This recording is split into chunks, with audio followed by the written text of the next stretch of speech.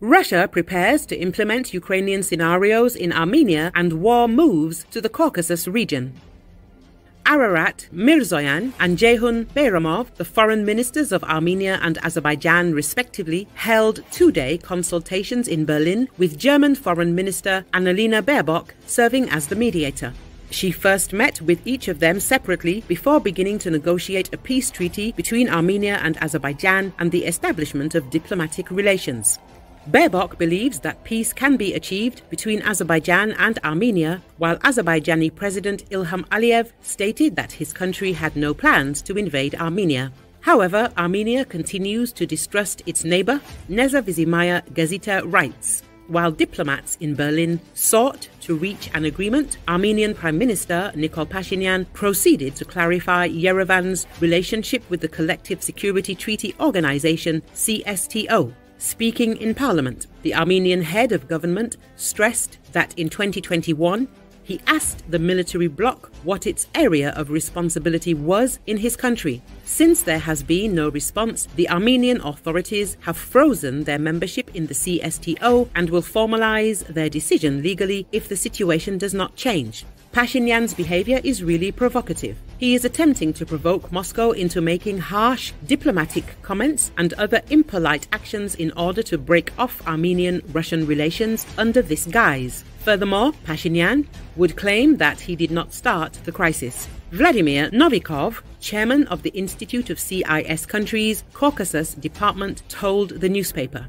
Most likely, Armenia's prime minister believes that the longer Russia's military operation in Ukraine lasts, the more issues Russia will face and the less interest it will have in the South Caucasus. As a result, he is seeking additional security guarantors, which can only be Western countries that are unable to accept Yerevan without the latter severing its relations with Moscow, the expert added. At the same time, Novikov noted that if Yerevan wants to suspend its participation in the CSTO, it must follow a specific legal procedure to do so. As a result, everything Pashinyan says in private has no legal ramifications. However, the expert believes that if Armenia is able to reach a peace treaty with Azerbaijan through one of the Western platforms, it will most certainly quit the CSTO Many Armenians are dissatisfied with the military bloc's failure to protect them during the difficult times, and Yerevan is nearing the end of its relationship with this organization. Vadim Mukhanov, head of the Caucasus Division at the Russian Academy of Sciences Institute of World Economy and International Relations, told Nezavisimaya Gazeta. At the same time, there is no talk of breaking off relations with Russia, but overall, Russian Armenian relations are at an all time low, he added. Armenian expert Ara Vadanyan says Russia does not hide its intention to leave the region. At the same time, the Armenian authorities use all possible means to provoke Moscow. All this brings us closer to the scenario of Ukraine or Syria. According to him, if the current trend continues, the future perspective of Armenia seems quite uncertain.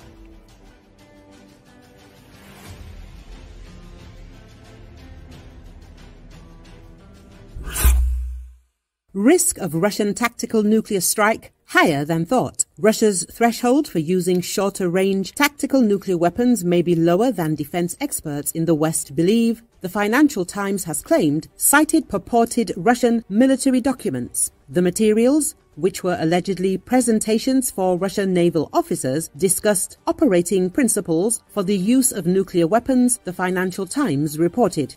They were supposedly produced between 2008 and 2014 and shared with the British outlet by Western sources. Kremlin spokesman Dmitry Peskov told the newspaper that Russia strongly doubts the authenticity of the documents. Moscow's military doctrine allows for the deployment of nuclear weapons in retaliation to a first strike against it or its allies, or in situations where Russian statehood is threatened. Senior officials, including President Vladimir Putin, have drawn attention to the country's nuclear arsenal amid the Ukraine conflict. The US and its allies have accused the Russian leader of nuclear blackmail, although Moscow has rejected that allegation. The criteria for the use of nuclear weapons in the documents reviewed by the FT included losses by Russian forces that would irrevocably lead to their failure to stop major enemy aggression and a critical situation for the state security of Russia.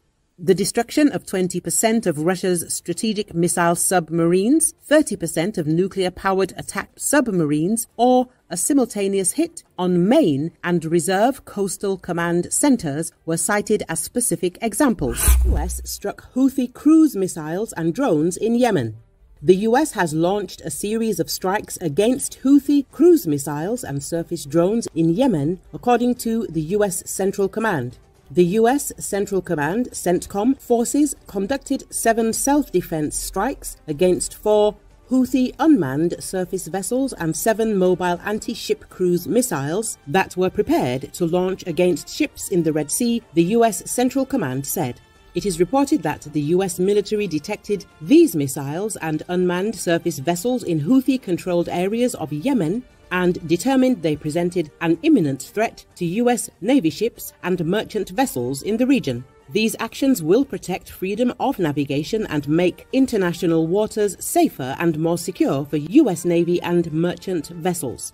Since November of last year, there have been ongoing attacks by Yemeni Houthis on trade ships in the Red Sea, often associated with Israel. In January, the terrorist group launched its most significant attack. The US and British military repelled an attack in the Red Sea in early January.